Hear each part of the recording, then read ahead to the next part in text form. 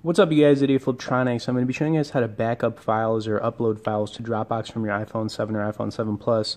So, um, if you guys are, you know, backing up to iCloud, uh, Google Drive, or just your computer, Dropbox is like a great option because you can, you know, get a free account with it and you can access your files pretty much, you know, from any PC or Mac or anything like that. So, it's just a good idea to back stuff up this way. Um, but like I said, if you're not using anything currently, this is a good option.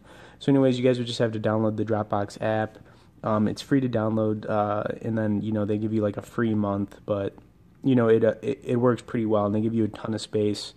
Um, you know after you uh, you know give it a download. But anyways, as soon as you guys create an account um, on your iPhone and you're logged in to it, uh, you can start uploading some files from your iPhone. So if you have uh, you know photos or videos, you just click this, um, you know click upload, and then it'll start to upload it to um, Dropbox. So, you know, like I said, uh, the nice thing about this app is that you know you can access these files pretty much from any PC or Mac or you know pretty much just anywhere.